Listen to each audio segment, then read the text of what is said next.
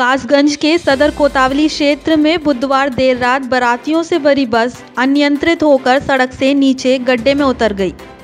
हादसे में बस में सवार 10 बाराती घायल हो गए।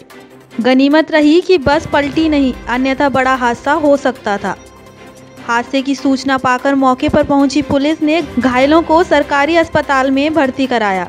जानकारी के अनुसार कोतावली कासगंज क्षेत्र के खुशालपुर गाँव में कादरखेड़ा गाँव से बारात आई थी। बारात रात तकरीबन दो बजे वापस अपने गाँव का खादरखेड़ा लौट रही थी। तभी अचानक बारातियों से भरी बस अनियंत्रित होकर नौगवा गाँव के पास गड्ढे में उतर गई। सड़क से नीचे उतरने पर बस में चीख पुकार मच गई। घायल बराती रंजन ने बताया कि बस का चालक बस नहीं चला रहा था, बल्कि कंडक्टर बस चला रहा था। जिसके चलते लापरवाही के कारण ये हादसा हुआ। बस में करीब सत्तर बाराती सवार थे।